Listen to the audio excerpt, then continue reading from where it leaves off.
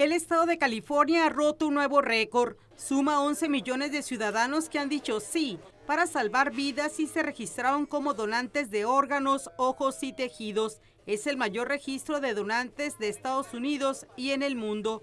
El trámite es sencillo, solo tiene que decir que sí al momento de tramitar su licencia de manejo en el Departamento de Vehículos Motorizados de California. Esto al ponerse en marcha el mes nacional de donar vida. Cada año en abril, Organizaciones de Done Vida en los 50 estados participan en esta campaña nacional con el fin de salvar y mejorar vidas. Sí, pues creo que sería una muy buena opción para aquellas personas que, en verdad lo necesitan porque si uno ya va a dejar de, estar en, aquí en este mundo, pues qué mejor que salvar otras vidas y muchas vidas podemos salvar. ¿Ya has dicho que sí en tu licencia de conducir?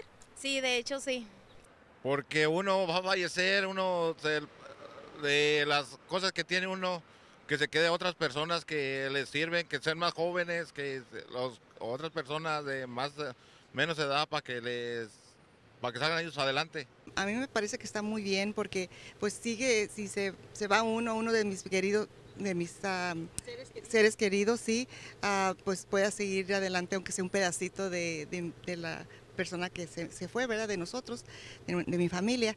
Y yo pienso que es para, bien de, de las otras personas. ¿Dijo que sí en la licencia? Sí, sí, sí, sí, dije que sí. Pues lo que sirva de lo mío ya. Nadie es demasiado viejo para registrarse como donante de órganos, ojos y de tejidos. Las personas con diferentes condiciones médicas también pueden donar. Más de 21 mil personas que están en espera por un trasplante de órganos en Estados Unidos, aproximadamente el 20%, viven en California. Actualmente el Departamento de Salud del Condado de Imperial, California, no lleva a cabo una campaña de donación de órganos. Noticieros Televisa, Daniel Melero y Alicia López Yáñez.